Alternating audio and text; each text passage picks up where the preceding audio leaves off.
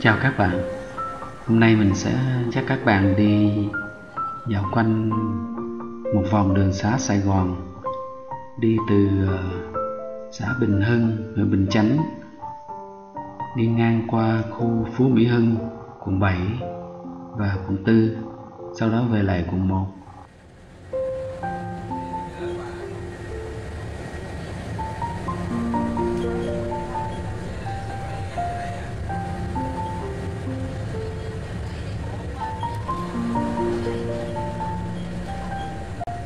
Xe đang đi trên đường Phạm Hùng, thuộc xã Bình Hưng và huyện Bình Chánh.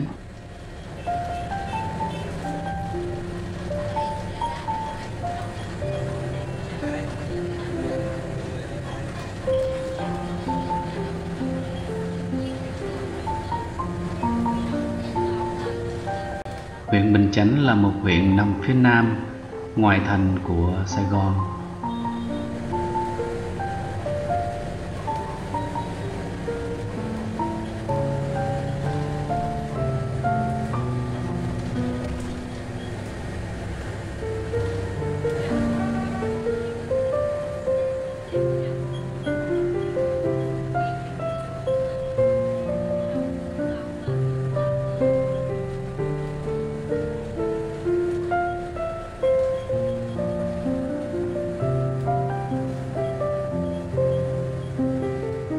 Bình Chánh có các trục đường giao thông quan trọng như là quốc lộ 1A, tỉnh lộ 10 nối liền với khu công nghiệp Đức Hòa thuộc tỉnh Long An.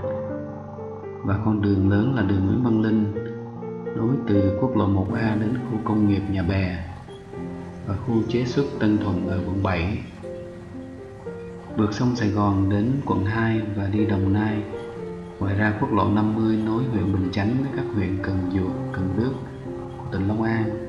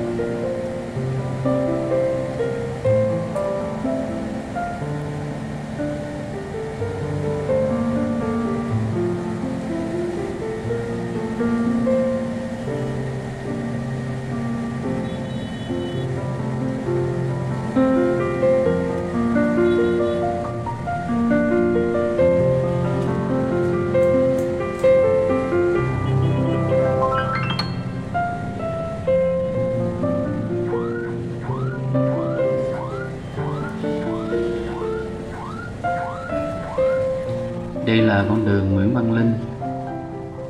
Một con đường lớn chạy ngang qua khu ờ, đô thị Phú Mỹ Hưng.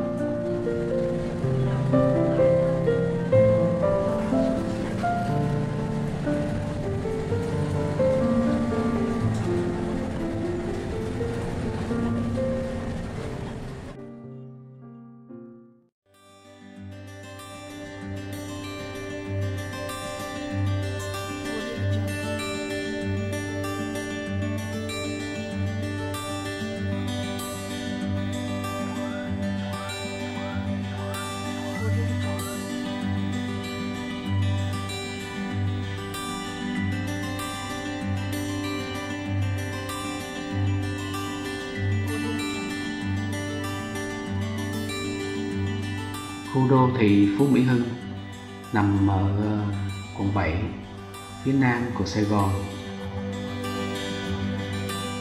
Ước tính là dân số ở đây là có khoảng trên 30.000 người hơn phân nửa là người nước ngoài đến từ các nước như là Hàn Quốc, Nhật Bản, Đài Loan và Trung Quốc.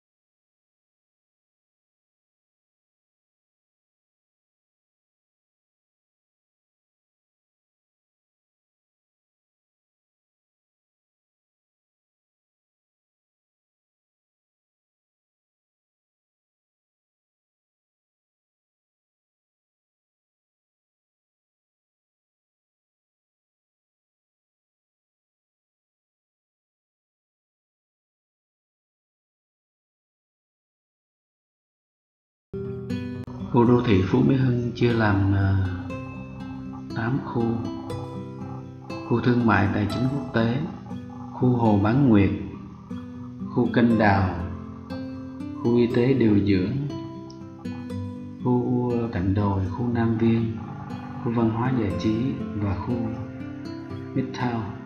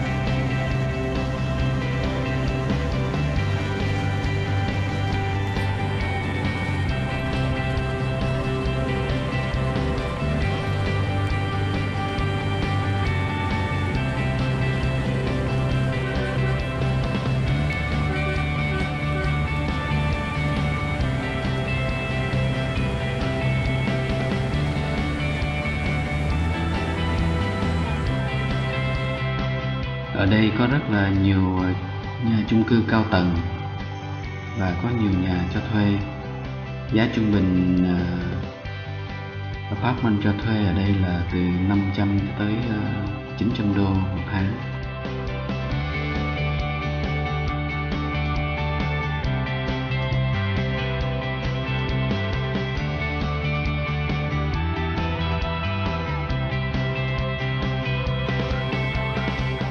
Phú Mỹ Hưng là một khu ờ, đô thị mới, thiết kế ờ, rất là thoáng và đẹp. Tuy vậy, những năm gần đây ờ, cư dân ở đây thường chịu cảnh những cái mùi rác hôi thối từ bãi rác đa phước, Hồi qua, nên rất là khó chịu.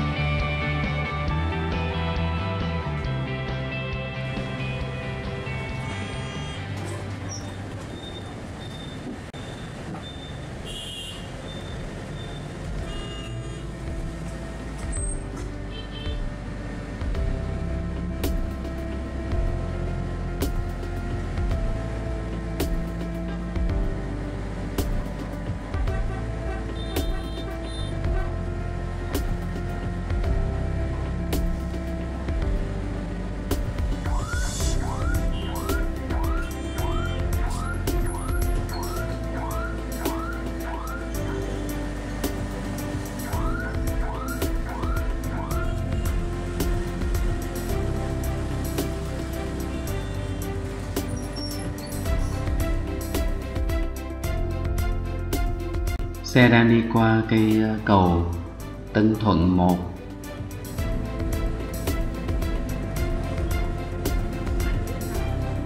Cầu Tân Thuận là tên của hai cây cầu nối giữa quận 7 và quận 4 Cầu Tân Thuận 1 là cây cầu cũ, được xây dựng từ thời Pháp, Được ờ, sửa chữa nhiều lần còn cây cầu Tân Thuận 2 là cây cầu được ờ, xây mới và đưa vào sử dụng từ năm 2005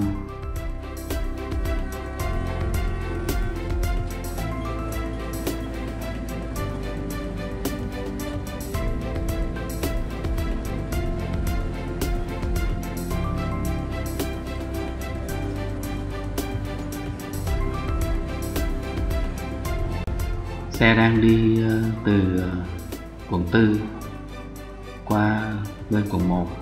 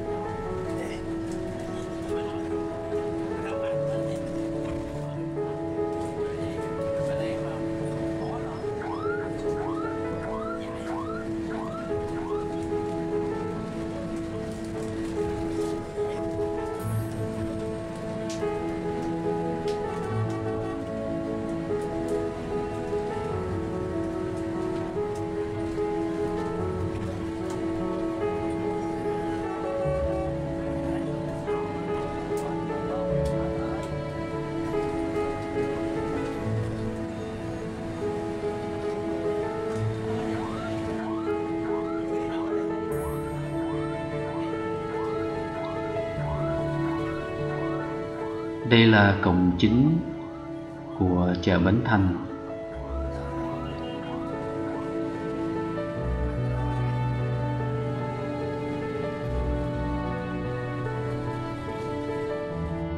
Sài Gòn, theo thời gian năm tháng, thay đổi rất là nhiều. Các bạn đi ờ, xa, chưa bao giờ về, sẽ thấy rất là lạ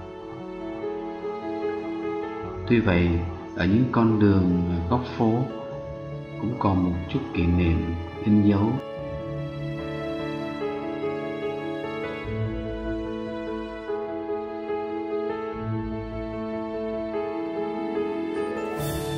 Những con kênh uốn khúc quanh thành phố, những hàng cây dầu cổ thụ cao và những ngôi trường xưa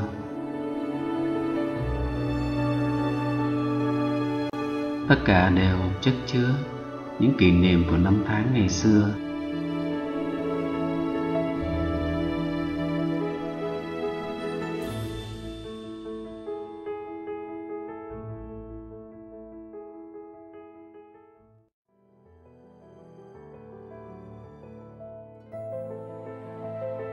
Khi chiều xuống, sài gòn lại bừng lên như một sức sống mới đèn đường xe cộ tấp nập nhộn nhịp.